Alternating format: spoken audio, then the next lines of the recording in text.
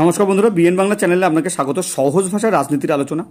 আজকের ভিডিওতে আমরা আলোচনা করব আগামী বছর পাঁচ রাজ্যের বিধানসভা ভোট। এবিপি নিউজ এবং সি ভোটার জনমত সমীক্ষা প্রকাশ করেছে। সেই রিপোর্ট আপনাদেরকে আমি, আমরা তুলে ধরবো। পুরো ভিডিওটা একদম শেষ পর্যন্ত দেখুন। আপনি আমাদের চ্যানেলে নতুন হলে অবশ্যই চ্যানেলটা সাবস্ক্রাইব করে নিচের বেল আইকনটা প্রেস করতে ভুলবেন না। এমন ধরনের ভিডিও সবার আগে পাওয়ার জন্য। বছর ঘুরলেই পাঁচ রাজ্যের বিধানসভা ভোট। পাঁচ রাজ্যের বিধানসভা ভোটের ফলাফল কি হতে পারে? কারা ক্ষমতায় আসতে পারে? কারা ক্ষমতা হারাতে পারে?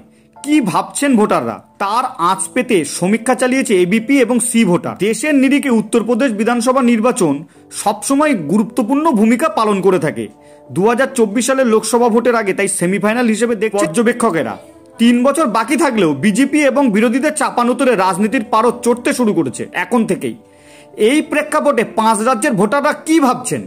এবার কোন রাজ্যে কে ক্ষমতায় আসতে পারে? রাজনীতির অলিন্দে একটা কথা প্রচলিত আছে, দিল্লির রাস্তা উত্তরপ্রদেশ হয়ে যায়।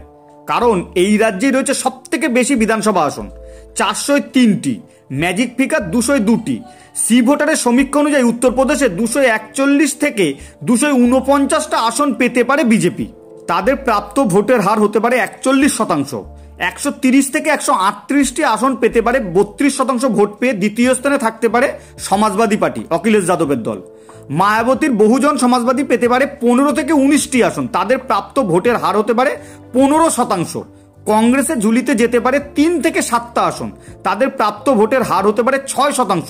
অন্যরা সর্বোচ্চ চারটি আসন পেতে পারে, তাদের ঝুলিতে যেতে পারে ছয় শতাংশ ভোট। অমরেন্দ্র সিং কংগ্রেস ছেড়ে দিয়েছেন, এর প্রভাব কি ভোটে পড়বে?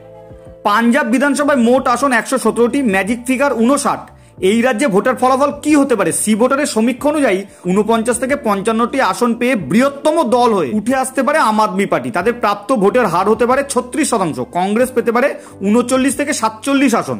তাদের ঝুলিতে যেতে পারে বত্রিশ শতাংশ ভোট। শিরোমণি অকালি দল সতেরো থেকে পনেরোটি আসন পেতে পারে এবং তেইশ শতাংশ ভোট তারা পেতে পারে। বিজেপি পেতে পারে সর্বোচ্চ একটি আসন এবং চার শতাংশ ভোট তারা পেতে পারে। অন্যান্য দল সর্বোচ্চ একটি আসন এবং পাঁচ শতাংশ ভোট তারা পেতে পারে। গোয়াতেও আঠাশটা আসন এবং আটত্রিশ শতাংশ ভোট পেয়ে ক্ষমতা ধরে রাখতে পারে বিজেপি। কংগ্রেস পেতে পারে এক থেকে পাঁচটা আসন এবং আঠেরো শতাংশ ভোট। আম আদমি পার্টি পেতে পারে তিন থেকে সাতটা আসন এবং তেইশ শতাংশ ভোট। অন্যান্য ঝুলিতে যেতে পারে চার থেকে আটটি আসন এবং একুশ শতাংশ ভোট। এখানে কিন্তু তৃণমূল লড়াই করবে কিন্তু সি ভোটারের জনমত সমীক্ষায় সেই রিপোর্ট উঠে আসেনি। মণিপুরের সমীক্ষা অনুযায়ী ছাব্বিশ থেকে ত্রিশটি আসন পেয়ে বৃহত্তম দল হয়ে উঠে আসতে পারে বিজেপি। তাদের প্রাপ্ত ভোটের হার হতে পারে ছত্রিশ শতাংশ। কংগ্রেস পেতে পারে একুশ থেকে পঁচিশটা আসন, পঁয়ত্রিশ শতাংশ ভোট তারা পেতে পারে। নাগা পিপুলস ফ্রন্ট বা এনপিএফ পেতে পারে চার থেকে আটটি আসন এবং নয় শতাংশ ভোট। অন্যান্যরা পেতে পারে এক থেকে পাঁচটা আসন, কুড়ি শতাংশ ভোট। চৌঠা সেপ্টেম্বর থেকে চৌঠা অক্টোবরের মধ্যে পাঁচ রাজ্যের প্রায়, পাঁচ রাজ্যের প্রায় আটানব্বই হাজার মানুষের সাথে কথা বলে এই সমীক্ষা করেছে সি ভোটার। এক্ষেত্রে সিএটিআই পদ্ধতির সাহায্য তারা নিয়েছে। সমীক্ষার margin of error plus minus তিন শতাংশ থেকে পাঁচ শতাংশ। আপনি কমেন্টস করে জানাতে পারেন এবিপি নিউজ এবং সি ভোটের এই জনমত সমীক্ষার সাথে আপনি একমত? নাকি আপনার কি মতামত? অবশ্যই আপনি কমেন্টস করতে পারেন। ভিডিওটা যদি ভালো লাগে লাইক করবেন। ধন্যবাদ। আবার নতুন ভিডিও নিয়ে দেখা হবে।